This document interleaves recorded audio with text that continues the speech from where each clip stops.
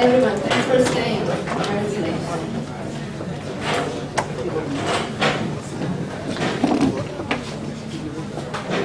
Hi. So uh, today we'd like to talk about. I would like to present a concept to which the art work and uh, the art experience in a way that uh, combines technology and digital culture. It's still theoretical approach, but I believe it's a needed, not to mention obvious solution of the artwork. And what I'm talking about is to combine art and technology in a way that includes the audience participation as part of the art space. As you can see, I'm a bit excited. I'm trying to breathe. we are here familiar with, sorry. Um, we are here familiar with several virtual characteristics. First of all, everything is shareable. You can share everything. Second, every action and mere presence becomes content. If I'm attending an event on Facebook, it becomes public and broadcasted to my entire network and friends. Uh, and the hierarchy between content owner and consumer is broken. Everything is commentable, and sometimes the comments are more interesting than the original content itself. However, in the art world, whoosh, the experience is completely different. If you ever uh, walked into a gallery or a museum and saw an exhibition, you know uh, what I'm talking about. You experience, you go into the room, you experience something, excitement, boredom, you're moved, you're sad, and nobody knows it but you. You have, uh, you have no, uh, no control over the experience. You leave the room and you leave no mark. The person to visit the exhibition after you has no, has no clue about your experience, your feeling, your thoughts. You have no control over the exhibition, about the art selection, about uh, the work order, and not even about the interpretation of the work. And I would like to change that. And how do I mean? First of all, enable audience comments and display them as part of the exhibition. An art consumer is an art critic. Displaying work context in real time uh, using maybe augmented reality in order to allow the user to add extra layers and additions to the artwork, create something new in the space.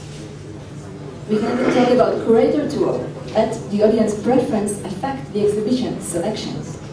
And of course, uh, expanding the exhibition and experience from far. In one sentence, the audience reactions should be an inherent part of the exhibition. And in this panel, we will look into this concept. We will try to evaluate it, good or bad, the influence that it has over the art world and culture in general. So we have, we have here three very respectable people, and I will start with uh, David Zucker, uh, a literary publisher that uses the cell phone as the platform for, for reading literature and not paper, and an art lover, correct me if I'm wrong. And uh, where do you think the art world should go? You have to know that we've discussed the concept of uh, what you've just heard uh, before. And uh, I share, unlike my colleague, that's the reason why he's here, uh, I share, I fully share uh, what Romi has just presented. And I'll just put it, uh, try not to be bore you, I, I just put it differently, agreed with, with Romi. If I have listened carefully to or even many of the speakers uh, today, since morning, um, the subtext of many of them was very clear, and that was that authority, the authority, do not exist anymore, or the diminishing of authority, of, of power. We can talk about source of news. Who is the real source of news? Is it Guy Zohar was talking about? What is truth? Many other speakers were subtextually said there is nothing like the Ten Commandments. Everybody participates, and nobody knows what's true and what's not true, what's false uh, and what's uh, real.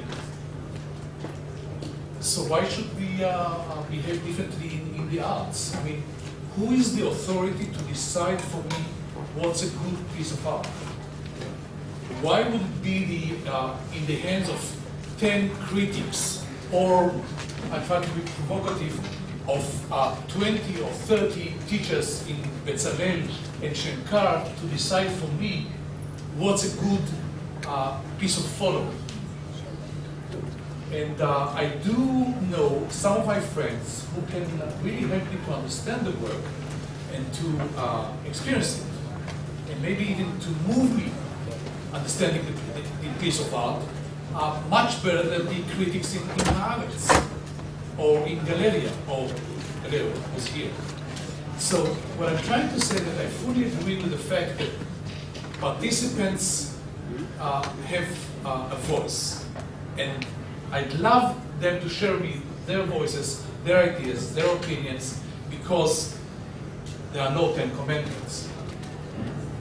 Thank you. So what you're saying is not only that the audience should participate, the audience should um, decide what is considered art. To be part of, I even, I would say more, I, I can see the participants of uh, an exhibition uh, being, being the curator. I mean, who said that uh, we cannot be the curator? Uh, let's assume that uh, your mother's gallery uh, uh, present us uh, a proposition of 100 of uh, works, and the walls can take only 15. Who said the curator uh, uh, is, will uh, present me with a better exhibition rather than uh, a decision of uh, 1,000 uh, uh, people uh, through Twitter or through uh, the web? Okay, so thank you very much, and I would like uh, Miki Kratzman, a well-known photographer and the head of photography department in Bezalel Academy, let us know what you think about the concept. First of all, I think that I am the wrong guy in the wrong place. Uh, some inside information, uh, we meet each other at least one amount in galleries. You always ask me, so you are the artist, tell me what, what is good and what is wrong. So, okay. But uh, I, I think the problem with this method, and there's a lot talk about, it's uh, first of all, it looks to me like a kind- of topic. But the topic follow the, the article. In the newspaper, you have the article and you have the topic. In this case, we are not sure that the guy who wrote the, the topic have the ability to read the text. And the text is really complicated. It's complicated uh, also in terms of context. When you see a piece of art, if you don't know anything about the history of the artist, or about the history of art, or about the context of the piece itself, you don't have the ability to read it. Now, let's say that to write the topic is not a problem, or it might be to read the topic. And then, even if I like the principle of this postmodernism idea, I think that we need some kind of filters to understand and to the context of the, of the piece of art. I don't want to go, I don't want to go, Just to understand. Who is the visitors. The visitors. The visitors. Uh, you know, you guys, uh, let's, uh,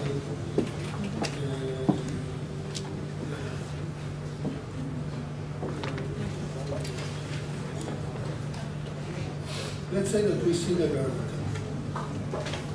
But you don't know that the context of the, the Guernica is the civil war in Spain. So the, how you read the Guernica is absolutely different. So you need at least some knowledge uh, to put things in, in context.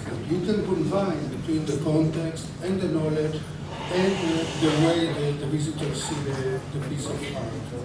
But uh, it's a very delicate, central point that it's hard to, to do it. So I understand you are talking all once about the, that you're afraid that ignorance will rule, and also that the content, the context, the, sorry, the context of the work is crucial to its understanding, and without it, uh, the understanding is damaged.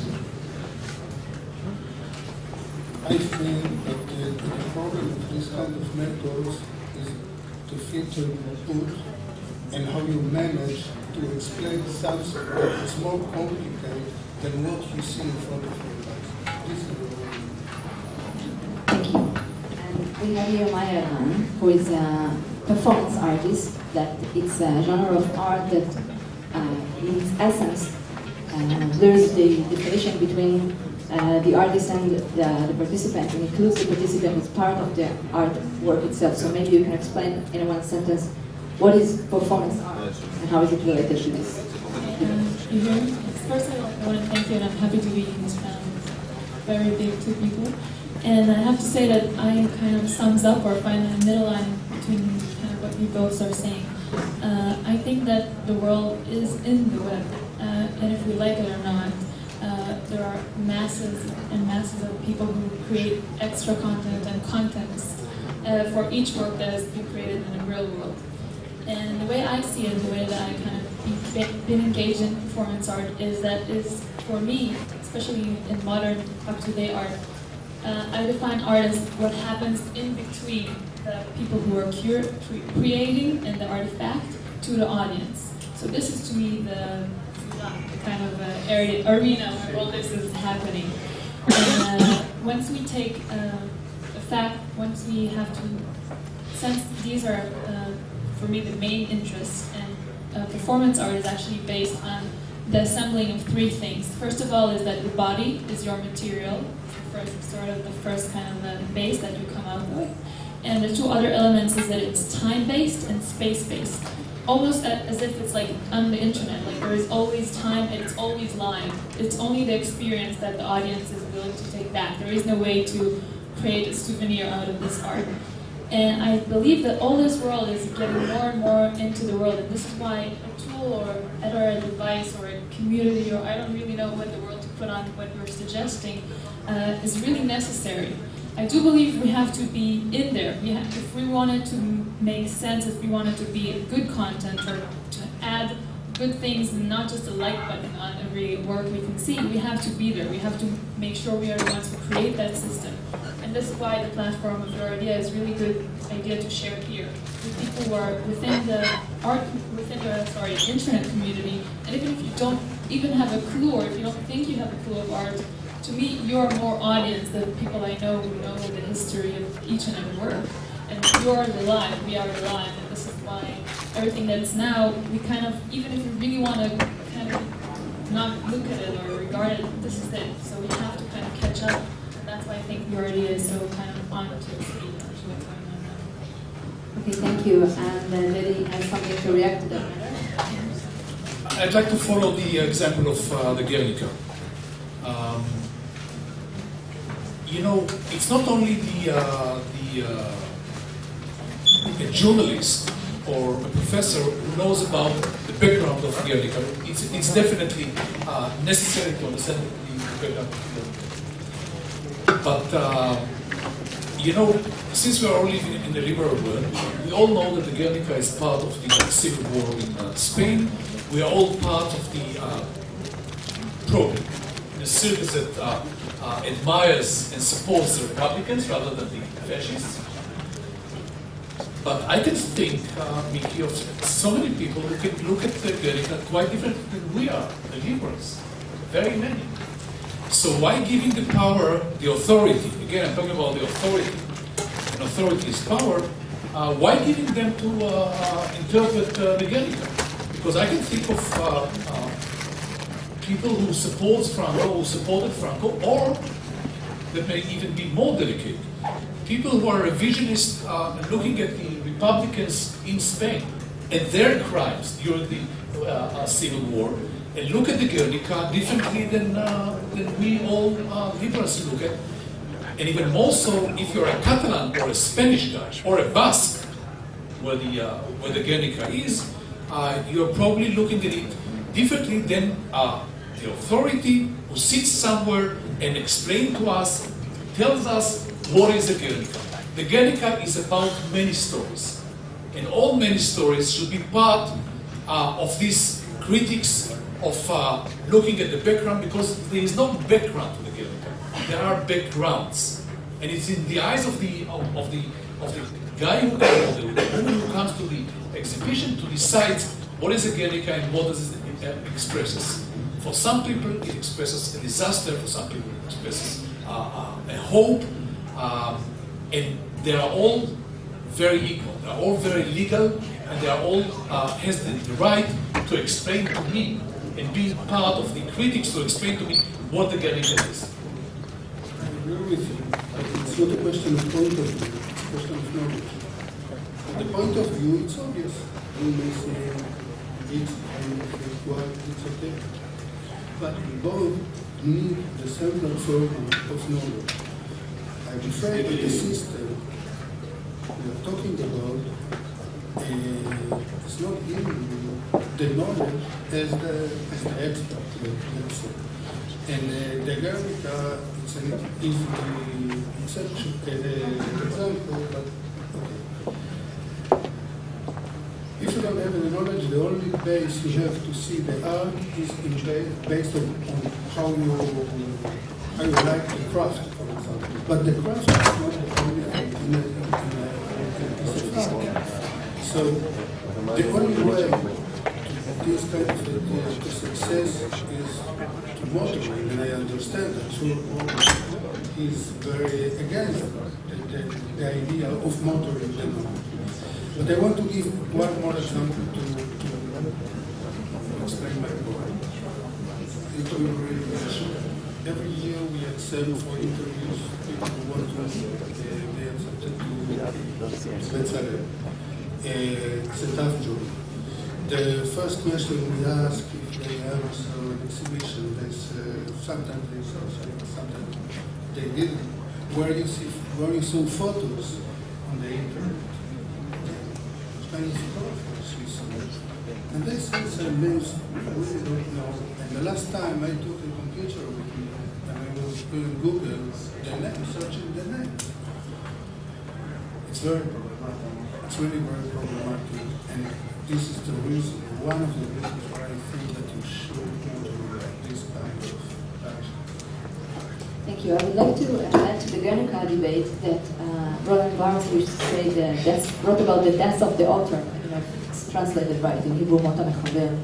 And he even takes it to the extreme. It doesn't matter what Picasso meant. It matters what I see in it. And I can see something that is not a war even, and, and still have find meaning in it. Roland Barthes would say. I just want to add one thing that I think we're all kind of agreeing with is that definitely in t- up to today times and in modern web internet-based reality, uh, we need the audience. The art does not exist without the audience, and this is kind of the point that we all kind of we will not sit here if none of us would have an audience. So it still may be time to think, focus on them on as users. All right, so thank you very much.